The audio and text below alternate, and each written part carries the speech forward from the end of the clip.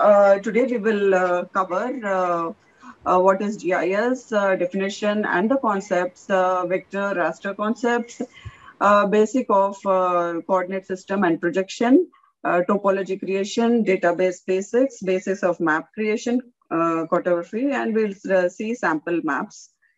So further, we will understand what exactly elements are and tools in GIS concepts, uh, where things are mapped, uh, making use of GIS and prepare a map, map projections, uh, uses of lat latitude, longitude system, datum, coordinate system, UTM, uh, universal transverse Mercator, UTM zone, how to calculate zone number, uh, geodatabase data management approach, uh, creating a geodatabase, uh, what are the elements in geodatabase, what all type of data we can uh, add into a geodatabase, uh, how can we validate it, domains, relationships, and topological integrity. So further, we will go into the cartography, basics of map creation, science of map making, uh, map composition, and design. So, um, so basically the definition of GIS is a system of capturing, storing, uh, checking integrity, manipulating, analyzing, and displaying data, which are spatially referred to the Earth. All the information which is on the Earth, we are going to deal with uh, in GIS and GIS software. GIS is normally considered uh, involved in spatial reference to computer database and appropriate application softwares. Here, when we say about application softwares, it's for example, we have QGIS and uh, ArcGIS. Uh, the framework of understanding and mapping uh, our Earth, we deal it with uh, uh three basic uh, creation. What is creating geographical knowledge and applying into the real real time um, practicals. So, uh, what do we create and why do we create? Everything is done to measure uh, the data uh, on the earth. If we want to do any kind of a planning, first we need to measure it, organize the data, analyze, and uh, uh, prepare a modeling for that. For that, uh, we need knowledge of geographic. so, we under that we have a holistic, comprehensive systematic, analytical, and visual uh, data that uh, we can understand, anybody can understand, not only the GIS professionals. The uh, application of this knowledge will be in planning uh, the town cities, on the roads, the bridges, and how do we manage and uh, what actions we can take uh, in this GIS. So uh, when we come to the uh, fundamentals of GIS, there are three uh, fundamentals. Uh, representation in uh, GIS, like layers, like features, attributes, and imagery. So uh, the whole data comprises of capturing, storing, updating, manipulating, and analyzing. The tools to manage and analyze and present the information to people, place, and things on the earth. Um, so uh, principal steps in the creation of map uh, with QGIS. Basically, we have two types of uh, data, which is uh, like raster data and vector data. Uh, when you say raster data, it is nothing but a picture. It can be also called as an imagery. And uh, most importantly, we it has been divided into layers. And we start off with the administrative areas, and then it is uh, still divided uh, through streets, water bodies, uh, land use as in agriculture, urban use, and forest, something like that, and elevation, the heights and depths of the land. So these all comprises the complete uh, topographical data in GIS. Uh, where things are mapped. So we can see one of the example of map here uh, wherein uh, you can see hardness zone map, uh, different types of, uh, uh, it has been draped on the earth with the zones. And it's giving you a range of information with the colors that's been represented. One of the uh, example for the raster image is a satellite uh, image or uh, aerial image. The, on the screen, you can see this is a um, raster data image, you can see all the buildings as in real, a photographic image. So how do we capture the data? The capturing of the data is being uh, either done in photogrammetry uh, software uh, or using a satellite images. it depends really um, what you're doing. So in this example, you, the data has been captured using a software called photogrammetry.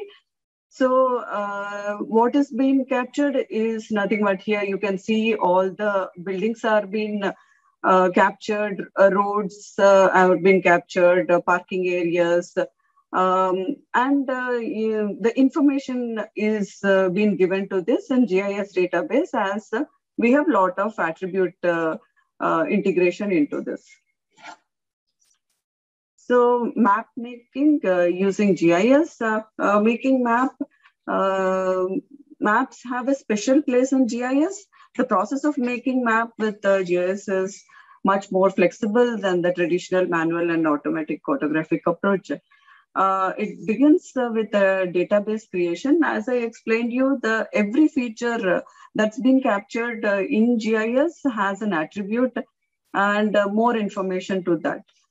So this, this is where uh, it differs from a normal CAD software and a GIS software because the information that you could feed into this is much, much more than any other software. Uh, so historically, uh, existing paper map uh, maps can be also digitized and uh, computer uh, uh, mm, compatible information can be translated into GIS. So we can see what are the data source, how from where the data has come, whether it is from the old existing historical data or the new capture data. So the GIS-based uh, uh, cartographic database can be both continuous and uh, scale-free also. So further, uh, map production can be uh, created uh, centered on any location at any scale, showing selected information, symbolized, effective to highlight specific characteristics. Um, characteristics of atlas and map series can be encoded in the computer program compared and uh, with the database and final product production time. So digital product uh, for using in other GISs are also uh, derived from simple uh, copying data from the database, from existing uh, to the and to creating uh, a new da database. In large organization, topographic database can be used for reference also. So uh, how do we make uh, for uh, making maps uh, and creating a cartographic uh, database, uh, digitizing of existing maps? Like if we have very important historical data, it depends exactly what your project is. We can take the existing data, which is, it could be a hard copy also, and we can digitize the data and create a database uh, translation of uh, existing maps uh, and prepare multiple paper products uh, and uh, to display it and uh, study further in, in detail. So there are two ways that we can use. We can either prepare a multiple paper product or multiple digital products map projection working with uh, map projections, GIS, and remote sensing. So projection, uh, we'll learn what is actually a projection, how important it is uh, to uh, learn about projection. The transformation of a geographic grid to the plane coordinate is referred to a map projection. A transform, uh, transformation from one plane coordinate to another uh, coordinate system is referred to as reprojection. So we will learn more about uh, projection and why it is uh, needed in our map preparation. Latitude longitude system, as we uh, know, the most commonly used coordinate system today is lat long and heights. That's nothing but x, y, and z. Uh, the prime uh, meridian and equator are the reference plane used to define lat latitude and longitude. datum. Uh, to, to project Earth as a flat plane, we must choose, uh, uh, there are two methods in that, ellipsoid or uh, spheroid uh, to represent the Earth's surface. Choosing an ellipsoid uh, implies the horizontal datum for the pro projected map. Hundreds of datums have been used, but historically we will be using horizontal datum what is a coordinate system? The, there are uh, different scales that we uh, prepare a map. Map projections used for small scale uh, map and it's around uh, less than 1 is to 1 million and plane coordinates uh, system used for large scale map which is greater than 1 in 24,000 scale. US plane coordinate system are most uh, popular uh, universal uh, transverse Mercator, that is nothing but UTM coordinates. Frequently uh, working on UTM coordinates. Uh, universal polar stereographic, UPS, SPC, which is state plane coordinates, and PLSS, public land survey system. These are the most popular, most used coordinate system. Uh, so we'll see about uh, UTM coordinate. Uh, the National Imagery and uh, Mapping Agency, Uh, NIMA, formerly the Defense uh, Mapping Agencies, adopted UTM grid for military uses. Initially, all the GIS data uh, used to be dealt with by the government or rather military it was a kind of a, a, proprietary rights to them, but now it's uh, open to everyone. The UTM, UTM divides uh, Earth's surface between uh, 84 degree north and uh, 80 degree south in uh, 60 zones, about 360 kilometers wide. Each zone are mapped into transverse Mercator projection, uh, false origin assigned to each UTM zone. The North Hemisphere UTM measures from false origin in the uh, equator and uh, 500,000 meters west of uh, central meridian. So how to calculate the zone number? Uh, you can see a clear uh, uh, picture about UTM zones. UTM zone is a six degree segment of the earth because the circle has 360 degree. This means that there are 60 UTM zones on earth, which is like 360 divided by 6 is 60. So whenever you are trying to uh, map or prepare a map for uh, that particular zone, we will be considering uh, that zone and uh, projecting our data so that it uh, um, it falls exactly onto that area uh, to the real ground. So that is the main benefit, and we can refer to this as and when you digitize or you are trying to prepare a map uh, to concern area. So one of the projection effect maps, if you see, why do we need projection? What will happen if we do not use the projection? Uh, the greater the map area, the greater the impact of the projection. Now, if you are, suppose you are using a small map, uh, say if you are uh, um, working in a um, working in your uh, uh, um, office or as a school or a college, uh, if you're preparing a map of that, it is really very small area. But as and when the map is grown uh, and uh, uh if you're uh, making a, a, map of a whole uh, globe, then the impact is too much because the error that the ground to the map is a larger. So if you are not projecting as per the coordinates of that area, then there will be a huge shift from the map to the ground coordinates. So you can see what is the ground uh, reality and the projection, unprojected lat long uh, that that because they don't sync into the real world. So that is the reason why we need to follow a standard um, projections uh, system that we are uh, using in uh, softwares like QGIS or ArcGIS. So now we'll learn how do we manage data in geodatabase.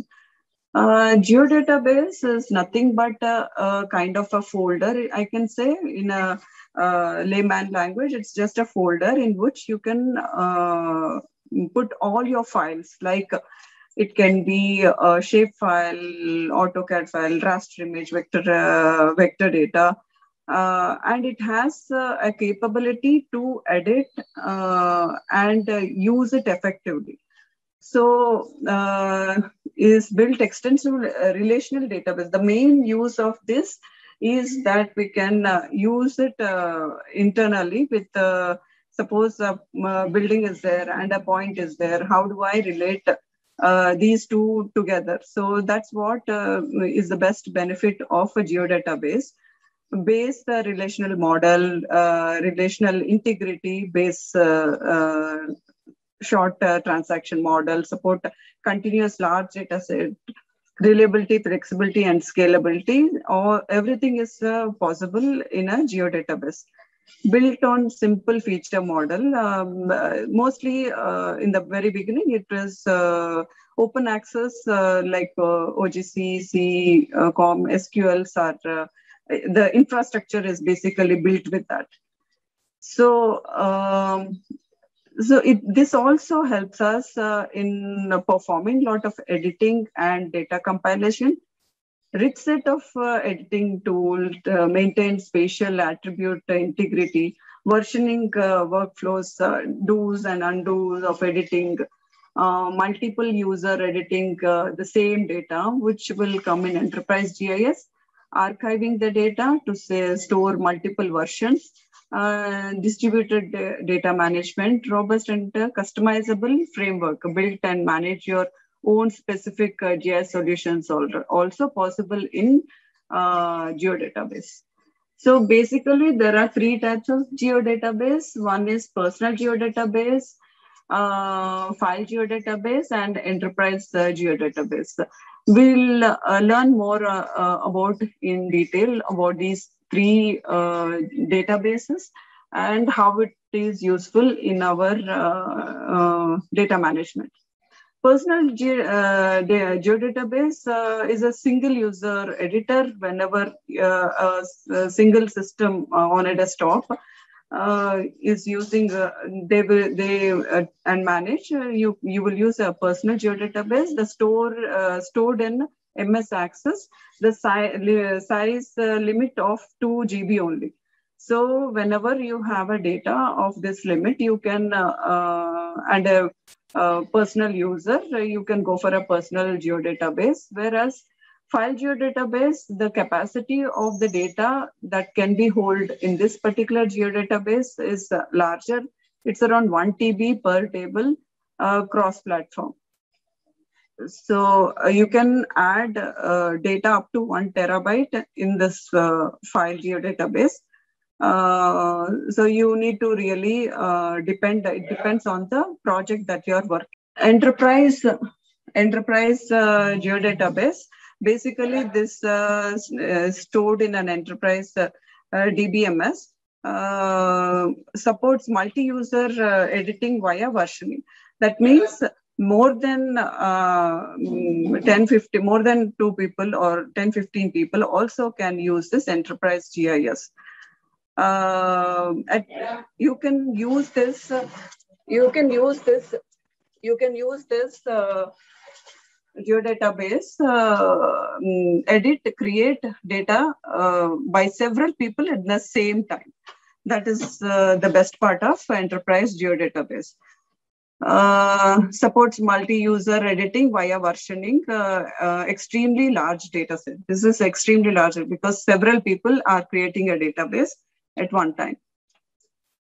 So ArcGIS, uh, ArcGIS dataset is the geodatabase uh, are uh, editable, modify buildings, footprint in parcel management, add water mains to the water network, update land owners information stored in tables and uh, etc. So uh, we can perform number of activities in this uh, geodatabase and data sets. Um, transaction model for editing in uh, ArcGIS is like editing, uh, edit, edits are performed uh, in an edit session open session, edit, uh, you can save edits, uh, do not save edits. A series of edit operation constitute a transaction. Transaction is either uh, committed or rolled back So what is enterprise uh, uh, database? Extend the transaction model with versions, multiple multi-user editing without locking. So uh, in this system, we give access to multiple editors and uh, there can be different types of uh, uh, users. Some users can just view the data and there may not be the real users uh, in a work environment. Maybe they are going to a survey and they need to refer the data. They just uh, need to have um, uh, you uh, need to have uh, the permission to view the data only. They don't have uh, any need to disturb the data. So only qualified and uh, people who are using, uh, uh, updating the data need to have the access. So multi-user editing without locking. So some people need only viewing rights and some people need read and write access. So uh, there is a difference in this uh, um, unique isolate view of the geodatabase also. Uh, so as I mentioned, uh, as per the requirement and uses, people are given the uh, rights. Benefits of versioning uh, um, editing, before it was like multiple people will individually work we will bring all those data together, update and uh, uh, integrate into one seamless data. But now, because of uh, uh enterprise geodatabase, we can create one version to each members. Now, maybe you're 30 members, you can have uh, 30 versions of the same data as a, uh, and then you all can work in, in the same time and uh, that can be integrated uh, immediately. So multiple editors editing over long period of time. So this will really uh, make the life easy because you're not doing the integration part. It is done online. Um, so undo, redo also, uh, a person called uh, GIS administrator will take care of that. And we time to time archive uh, the data and uh, replication also has been done in this versioning. Creating a database. So most interesting part is creating a database. The basic structure of a geodatabase consists of features, data set, feature classes, non-spatial tables uh, into which you organize your data along with the attribute field in feature classes, tables, and non-spatial uh, tables. There are three ways to define the structure of the uh, geodatabase. You, you may use one or all the methods when building a single uh, geodatabase. So we'll learn uh, what are the different uh, ways. While creating a geodatabase, uh, uh, one thing is you already have a data in different formats. most of them are aware of AutoCAD and MicroStation the uh, files created in those softwares like AutoCAD and uh, MicroStation, DGN files, uh, CAD files can be imported into this geodatabase. Other than that, if we have already created a, a shape file and we already have a, a coverages from a different projects or uh, we and we want to use them as a uh, reference we can get all those data, existing data, imported into our geodatabase. So you can see that it's like a container which can hold all types of data. So this is one method of creating a geodatabase. And the second method is you don't have a data, you are creating from the scratch. So uh, feature data set, feature classes, tables can be created from the scratch uh, with empty, uh, mm, with uh, required um, features, attributes, whatever you wanted to add and prepare. Suppose if I want to have a building with a wall, I can create it and I can give you give the attributes to that. I can add up all the uh, different fields that I need and uh, so I can create it from the scratch and I can give the conditions. So from the scratch, there is no data, but I will introduce the uh, vector data, raster data, give the tab tables, feature classes, everything from the scratch you're doing. And so in case tools, there's a, the third method is case tools where you just have one simple file like UML. It's a, sim, a simple file which has the data, uh, information of all the data it could be shapefile, um, feature data set, feature classes, tables. In XML file, UL, uh, UML file, there are a lot of information about, uh, I mean, vector raster data. So you can use your uh, uh, geodatabase, import those uh, with the tool and get a complete data.